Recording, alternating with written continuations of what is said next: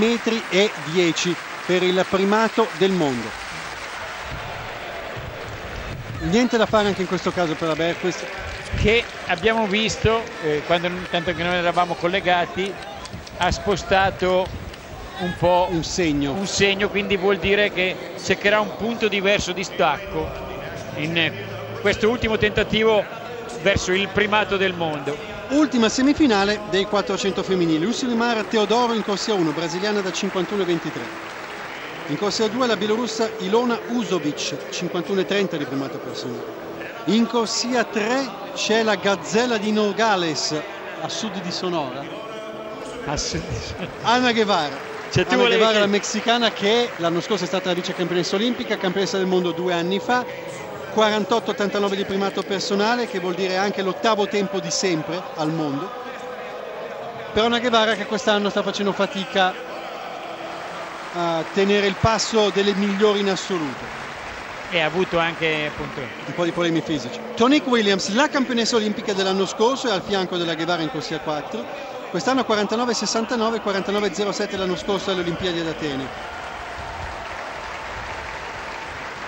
In corsia 5 la russa Olesia Zikina, classe 80, 50 e 15 di primato personale assoluto, 50-85 quest'anno. Attenzione corsia 6 alla statunitense Monique Anderson che quest'anno è, è scesa a 49 e 96.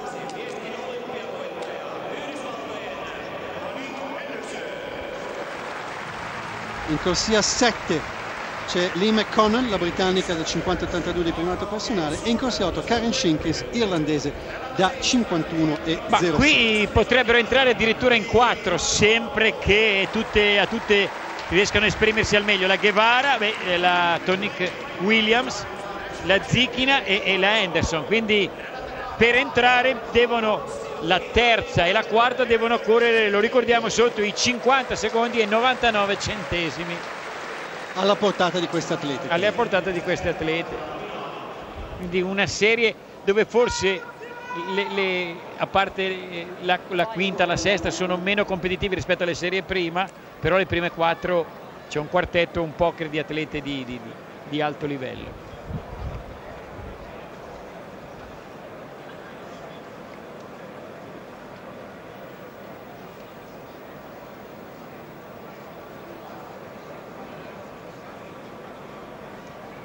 Per ora la Richard su una spanna Sì, per quello che abbiamo visto nelle prime due serie.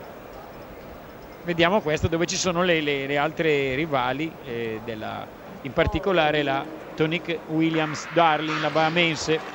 Williams in corsia 4, parte non molto forte, meglio la Zichina in corsia 5. Sì, Adesso si fa sotto però, eh, bellissima curva, bellissima forte curva di Tonic Williams. eh. Williams e Zichina insieme alla Henderson, sono le tre davanti, male la Guevara invece decisamente indietro, La Guevara rischia, ma sono partite tutte fortissime. stecca eh. proprio. Tonic Williams al comando, la Zichina ha perso qualcosa, la Henderson fa fatica a tenere il passo della Williams, scatenata. Tonic Williams, Guevara adesso si in- tratta però di tenere. Guevara in, in Il ritardo, recu- però però il recupero Guevara che ancora non si scompone Tonic Williams sul rettilineo finale spinge torna sotto la Guevara di gran carriera bellissimo recupero della Guevara gara in recupero della Guevara che va a prendersi la seconda posizione Tonic Williams vince attenzione al tempo 49-69 Eh. davanti alla Guevara ecco, gran gara di Tonic Williams gran gara di Tonic Williams la Richards adesso dovrà crono- correre molto forte. Assolutamente sì. Vediamo se ci sono tempi la ripescati. Berquist la Berquist Kaiser, regalaci un sogno. 50 tentate per la Guevara. Terzo tentativo di primato del mondo, due metri dietro, anche Chonti Howard, Tia Hellebaut, tutte lì ad applaudire. Sarebbe storico. 18 Parte- anni dopo la Costadinova. Se no, niente da fare, niente, quello più nettamente fallito. Vabbè, Ma Casa Berquist è la campionessa del mondo per la prima volta nella sua carriera. 2,02 m sono stati sufficienti per vincere il titolo, il primo grande titolo della sua carriera.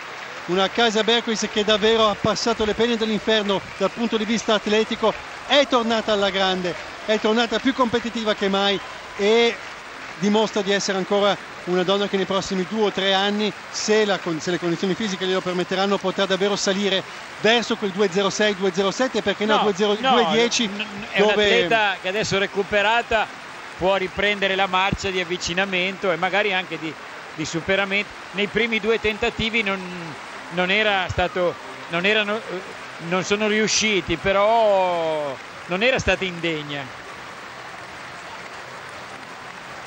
400 Antonio. Pr prima parte della doppietta dell'alto svedese completata. Addirittura qui hanno piazzato anche la green in medaglia di bronzo. Due ori. Adesso aspettano Stefano Olmo ovviamente nell'alto maschile. Shonti Howard è la novità, ha 20 anni, anzi 21 anni appena compiuti, prende la medaglia d'argento, non è più una novità, adesso è una realtà.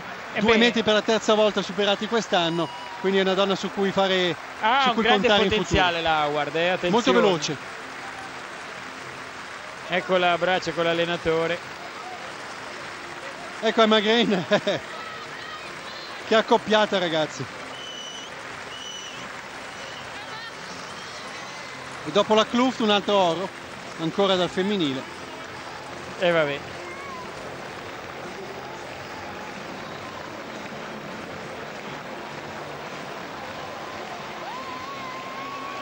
Felicissima è la Howard. Beh, anche perché due metri anche, quindi attenzione, anche qui passano allora, allora la Zicchina e la Henderson. Passano sia la Zicchina che la Henderson, la Zicchina 50-73 come la Henderson. Quindi le prime quattro dell'ultima serie e le prime due delle serie precedenti. Questo vuol dire che le otto finaliste sono Tonique Williams, Anna Guevara, Olesia Zicchina, Monique Henderson, Svetlana Pospelova, Didi Trotter, Sania Richards e Ami Mbak Tiam. La uh, Tonique Williams che abbiamo visto stasera per me diventa la favorita. Anche rispetto a una Sania Richards che pure ha, ha corso abbastanza in scioltezza, però... però 49-69 è, è, è un gran bel tempo, sì.